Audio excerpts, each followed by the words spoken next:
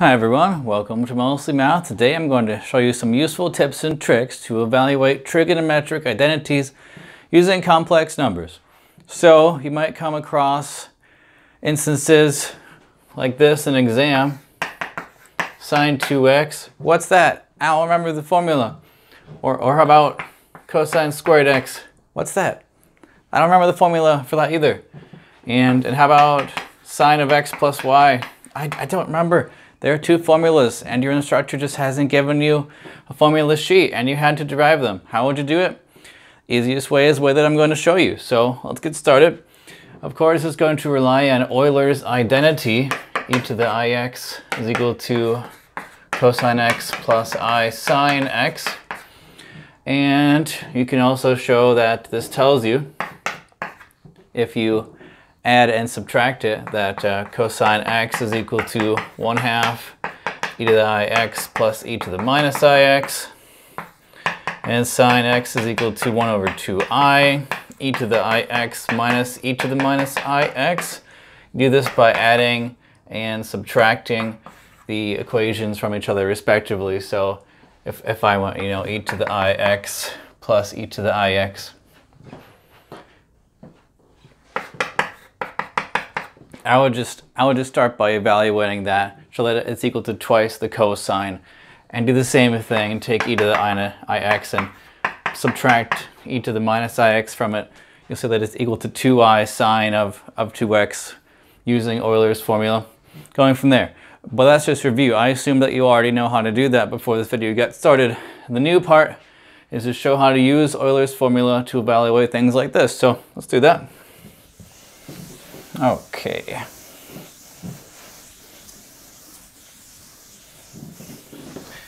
Let's start by we came across cosine 2x or sine 2x on an exam and you didn't remember which formula was which. So we're going to start by considering the complex exponential that this is the real and imaginary part of.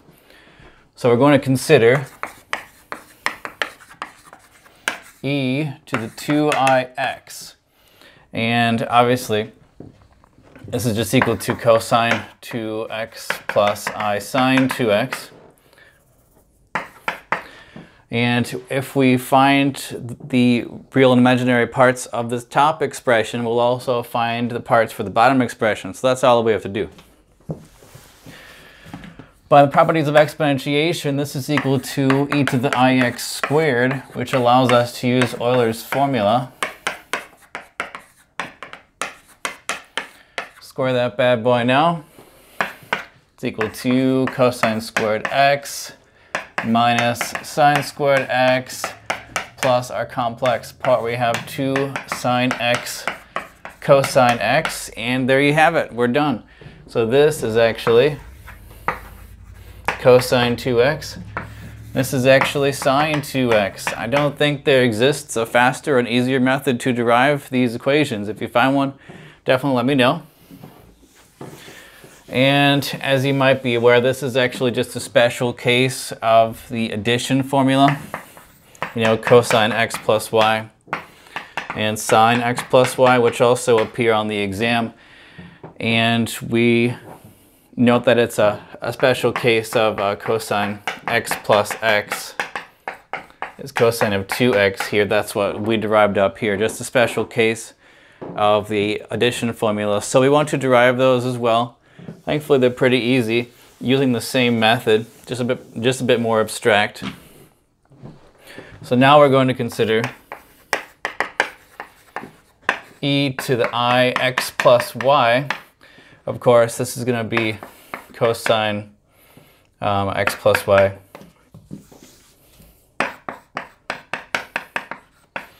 plus i sine of x plus y.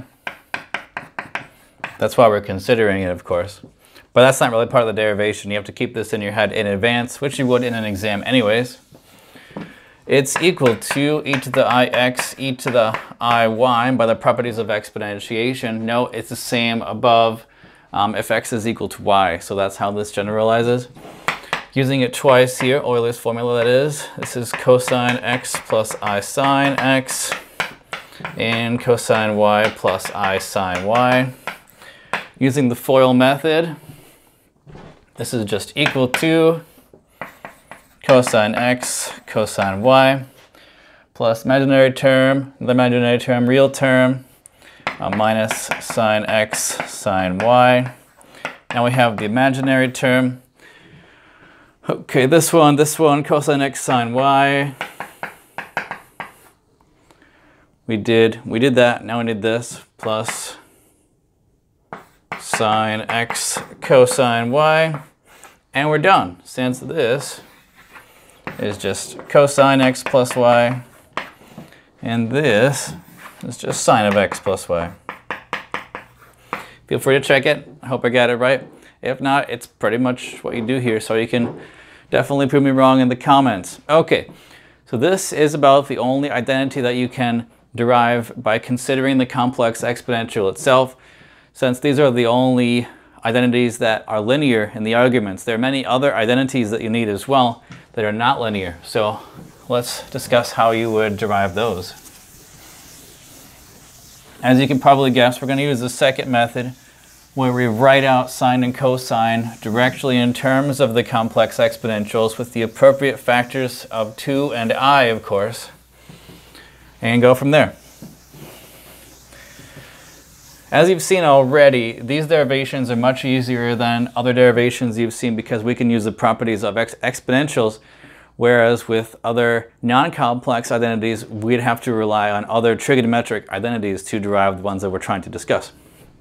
All right, so now we want to evaluate cosine squared xy.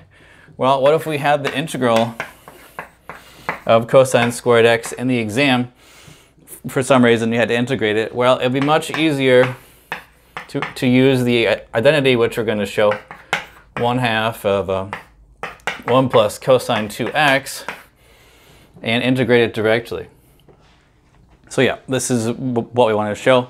There's also a similar identity for the sine function, which we'll derive shortly, but this is the primary reason that I had to use this identity, though of course there are many other reasons that you might have to use it as well. All right. So we're going to write this as 1 half e to the ix plus e to the minus ix squared. We're going to get two factors of 1 half, which we're not going to combine into 1 fourth for reasons that you're going to see momentarily.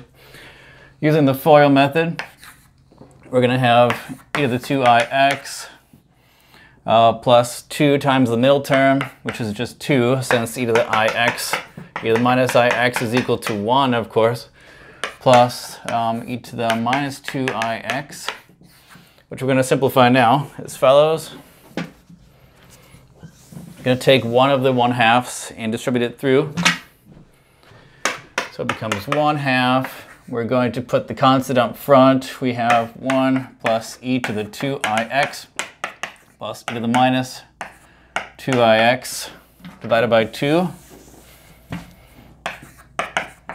And you can see where we're going here. Now, this last term is just the cosine of 2x. So it becomes 1 plus cosine 2x over 2, exactly as I told you it was.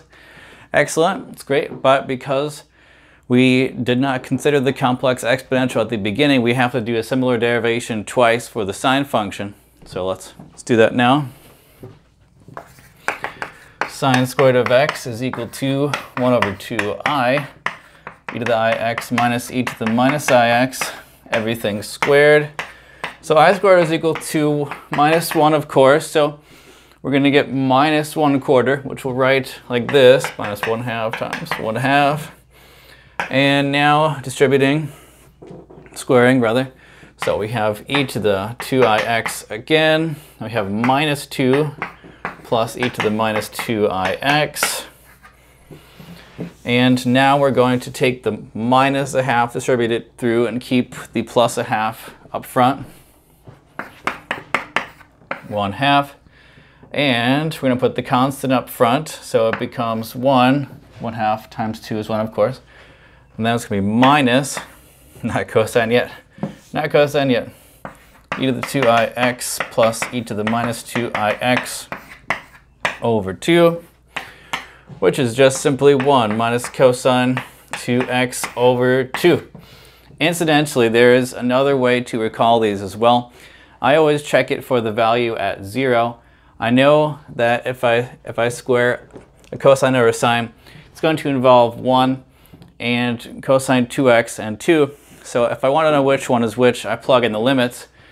Since cosine squared of 0 should be 1, and if I plug 0 into here, I get 1 plus cosine 0 is 1 over 2, 1 plus 1 equals 1, of course. So I know that this one has to be cosine of 2x, and the other one, excuse me, has to be sine squared of x. So yeah, that's how you can do that. And it doesn't have to stop here. You can apply the same principles to derive many other identities, like uh, sine squared of x plus cosine squared x equals to 1. It can be derived in much the similar fashion that we have done here. You just put the Euler formula versions of sine and cosine. I don't really feel that this identity fat, fat the topic of the video, since I can always remember this one. I think everybody remembers this one. There are also things like if you wanted to know about sine of pi over 2 minus x, for example, is this cosine x? I don't remember. So this would this would be a good one as well to use the Euler formulae on. I didn't include it because it's not quite as famous. But these are the main ones that you need and feel free to apply this method to derive any other trig identity that you want. And if you want to see some more math, please like, subscribe to my channel. See you next time.